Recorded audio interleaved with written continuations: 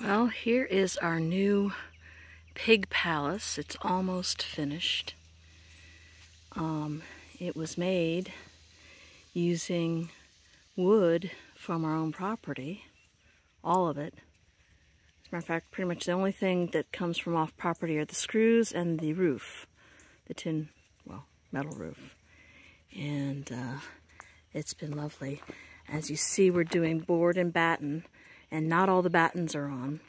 And this is mostly green wood, so the screws are only down the center of down the center of the boards so that as the boards shrink, uh, they'll shrink a little bit this way. They don't shrink this much that way, according to my husband. So this way, then, you know, they won't split and everything. So, and I'm a little bit downhill from it. And so inside, we kind of overbuilt. These are all cedar posts. And they're down in the ground. Oh gosh. Um, from that line, they're probably in the ground probably another two and a half, maybe feet. And we put chips in here, and I think I'm to rake some of them out because this here is the creep. And I want to make sure that, you know, the mamas are probably going to root around a little bit. If we can get them in here. We They don't want to come through that gate, that man gate down there. So right now they're all the way over there in pig one, as we call it, pig paddock and pig pen one. This is pig pen two, and we'll eventually have pig paddock two out there, and that's going to be, oh, maybe two acres of space that we'll have a five wire on.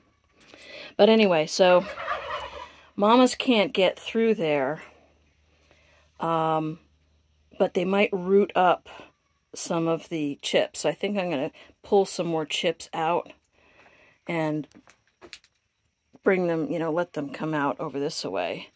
But uh, we'll have a trough back here to feed the babies. This will be uh, eventually it'll have a door so that we can get access to the babies.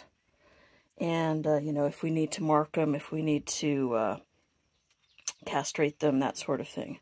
Again, this batch, which is due probably within the next two weeks, and today's June 30th, 2022. But anyway, who knows if we're going to get the girls in here. I don't. It's like, come on, girls, come on. It's not that scary. But anyway, it's ready. Our boar is quite happy to come in and lounge in here. As we said, it's the pig palace. He loves it.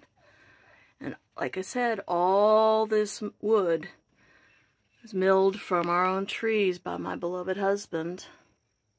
And he did pretty much all the work on this. It's really an amazing structure. Let me go around on the other side. Then here's our gate. You can see the latch gate. We love these type of latches. These type of latches are amazing. They're so simple.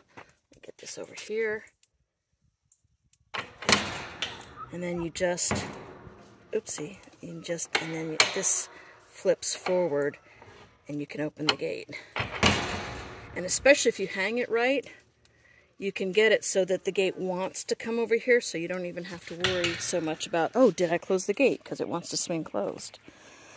So here is the outside of the pasture. And again, this land slopes, so I'm already probably about a foot above this where I'm standing. So,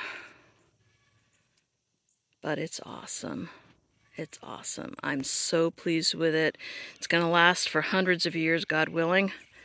And we're very happy with it. David did a great job. So, Pig Palace.